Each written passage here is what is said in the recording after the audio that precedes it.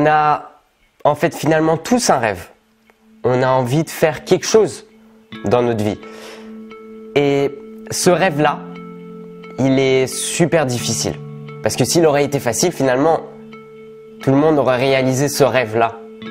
Donc si ton rêve reste toujours ton rêve et que tu l'as pas mis de côté, parce que beaucoup beaucoup de personnes le mettent de côté par peur, parce qu'un rêve c'est souvent rempli d'énergie, rempli d'idées, rempli d'objectifs, et après il faut assumer tout ça.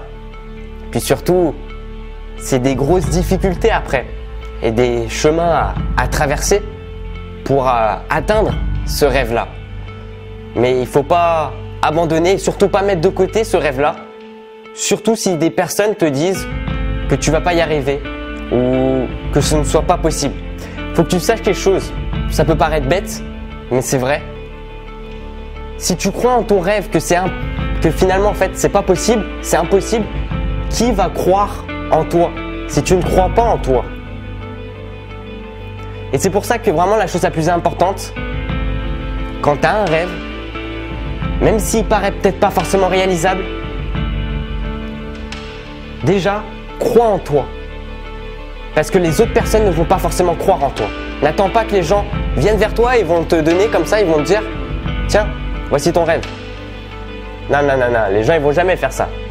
S'ils peuvent même limite avoir ton rêve, ils le feront. Parce que forcément, tu n'es pas le seul à l'avoir. Donc garde bien ce rêve-là. Protège-le. Garde-le bien, bien au chaud. Moi-même, moi-même, j'ai des rêves. J'en ai d'ailleurs plusieurs, dont un principal. Mais parmi ces rêves, il y en a déjà qui se sont réalisés par et grâce au travail, à la motivation et à, d'autres euh, d'autres forces que j'expliquerai prochainement dans cette série.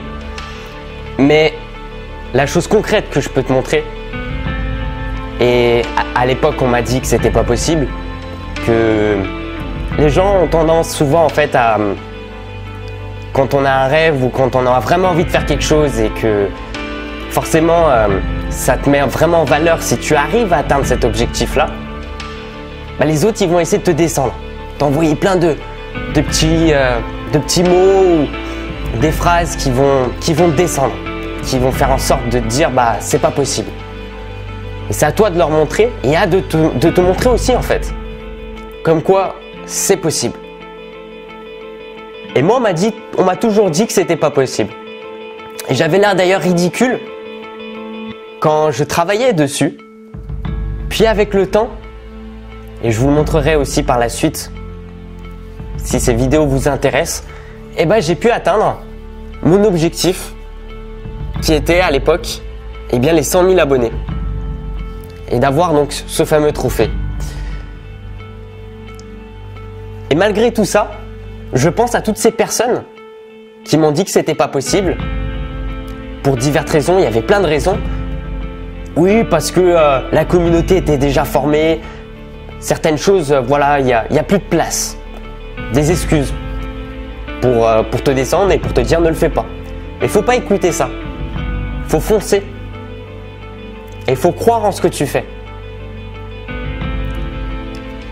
Un rêve peut se réaliser. Du moins, j'ai pu le réaliser et j'ai pu acquérir aussi ce, joli petit trophée 100 000 abonnés. Je vous expliquer, c'est un petit test de speech de motivation. Moi, j'adore. Ça fait très longtemps en fait que, j'ai voulu faire ça. Et euh, faut savoir que moi, je le fais sans, sans, en fait. Ça, c'est du pur naturel. D'accord? C'est sur le moment. Et euh, moi, j'ai vraiment vraiment envie de, vous proposer un tas de, de, vidéos speech de motivation. Je suis pas forcément une chaîne de gaming en fait. Les gens ils l'ont compris de toute façon. Je suis pas quelqu'un qui fait vraiment que du jeu vidéo, euh, etc., etc. J'aime me divertir et je trouve ça intéressant parce que sinon euh, ma chaîne serait, bah j'aurais arrêté YouTube de toute façon. Si j'aurais fait que du jeu vidéo et tout, ça m'aurait honnêtement saoulé au bout de 5 ans. Donc voilà, ça c'est une série et que je tiens vraiment à cœur. Donc j'espère euh, que vous allez euh, que vous allez aimer cette série. On verra. Et euh, on va attaquer plein de sujets différents. Et le but, c'est de motiver. Un peu comme ce que j'ai fait auparavant dans mes speeches de motivation. C'est exactement la même chose, reprendre un peu la même chose, mais de le faire un peu différemment. Où cette fois, je vous parle en face et de trouver les bons mots, etc., Donc moi, ça me permet de, me travailler aussi et de d'apprendre aussi à comment comment parler positivement, comment bien formuler toutes ces phrases et tout. Et, euh, voilà, moi, moi j'aime beaucoup. Moi, c'est quelque chose qui me, qui me plaît énormément. Et euh, c'est très important aussi d'être positif et de, et de bombarder de positif parce que bah, autour de soi, à l'heure d'aujourd'hui, euh, on regarde l'actualité, c'est négatif, les gens râlent. Et je pense que faire cette série-là à fond, et vous proposer pourquoi pas une à deux speeches de motivation par semaine, voire peut-être un petit peu plus, je sais pas. C'est pas forcément une mauvaise idée. Mais c'est une bonne idée. Voilà.